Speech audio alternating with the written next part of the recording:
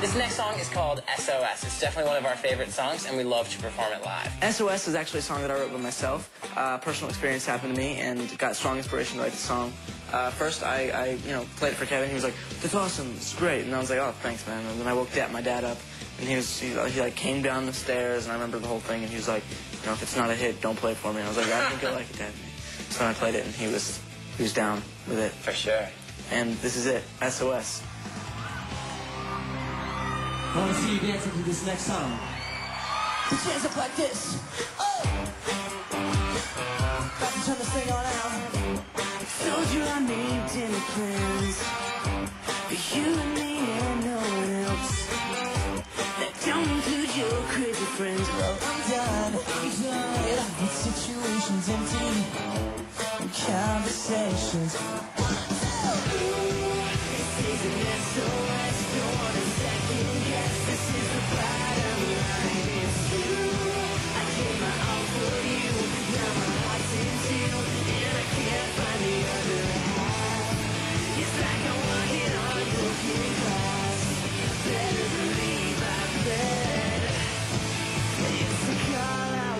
I'll